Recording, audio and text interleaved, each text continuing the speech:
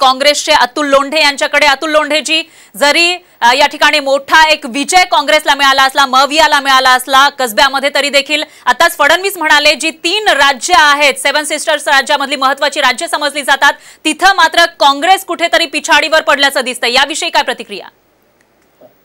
असं आहे की त्रिपुरा असेल तिथे तिमुरा टिमोरा मोथा जे आहे ते पक्षातून बाहेर पडले त्यांनी वेगळा पक्ष काढला नाही ते शंभर टक्के तिथे हरले असते त्यांना बारा तेरा जागा मिळतात आहे. आम्हालाही जवळजवळ ते सोळा सतरा जागा मिळतात आहे. तर ते तिथे एक तो प्रॉब्लेम झाला. टीएमसी सोबत जे आहे ते मेघालयमध्ये प्रॉब्लेम झाला.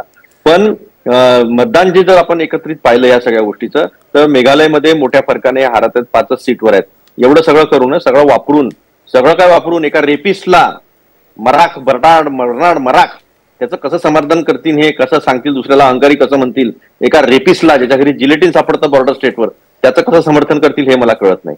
नागालँडमध्ये यांनी घासपानी असेल कुमलावंड असेल या सगळ्या ठिकाणी ज्या पद्धतीने आमच्या कंप्लेंट गेलेल्या आहेत तिथे आरोला आमच्या मतदारांना जाऊ दिलं नाही आमच्या दोन उमेदवारांना उभं प्रचार करू दिला नाही या सगळ्या ज्या तक्रारी ज्या त्या केलेल्या असं करून यांना काही विशेष यश मिळालं असं म्हणता येत नाही. आता कसब्याचा मला एक मुद्दा अजून मांडायचा होता.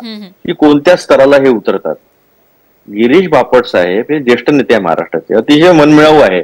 आणि त्या गिरीश बापट साहेबांना आयसीयू मधून सिलेंडर सहित व्हेंटिलेटर सहित काढून हे प्रचाराला आणतात. आणि आज विजयी झाल्याबरोबर आमचे उमेदवार हे त्यांना जाऊन भेटतात. नानाभाऊ तिथे प्रचाराला होते. बापटांना त्यांनी प्रचाराला काढलं होतं पण नानाभाऊ पटोले हे स्वतः बापट साहेबांना हॉस्पिटलमध्ये जाऊन भेटून आले तब्येतीची विचारपूस करून आले. प्रतिक्रिया अशी होती की काँग्रेसला जर हे माहीत असतं की बापटांचे असे हे हाल करणार आहेत कारण आपण मुक्ताताई टिळकांचं बघितलं आपण लक्ष्मणराव जगतापांचं बघितलं त्यांची काय अवस्था होती आणि दोन होटसाठी त्यांना दगदग करून जे मुंबईला आणलं होतं विधान परिषदेच्या फुटाला निवडणुकीमध्ये हे सगळ्या महाराष्ट्राने उघड्या डोळ्यांनी पाहिलेलं आहे. हे काय सांगतात देवेंद्र फडणवीस? आम्ही आत्मचिंतन करू. कशाचं आत्मचिंतन करणार आहे तुम्ही? सिलेंडर महाग केल्याचं आत्मचिंतन करणार आहे? पेट्रोल महाग केल्याचं आत्मचिंतन करणार आहे? की तुम्ही खाण्याचं पीठ जे आहे ते महाग केलं